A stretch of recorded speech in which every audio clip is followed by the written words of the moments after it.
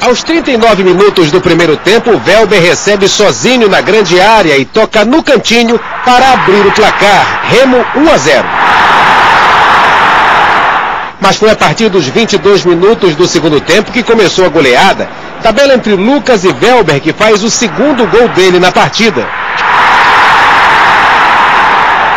Dois minutos depois, o Wellington arrisca de fora da área e acerta. Remo 3 a 0.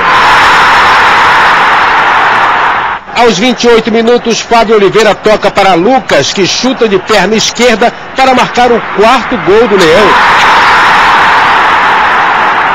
Em seguida, Reinaldo Aleluia desconta para o brasiliense.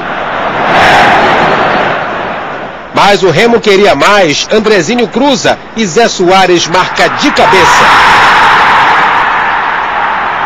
Final da partida, Remo 5, Brasiliense 1.